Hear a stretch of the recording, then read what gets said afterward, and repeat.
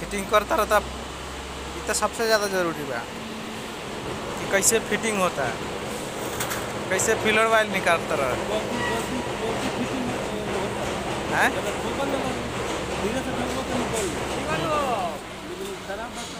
है ठीक है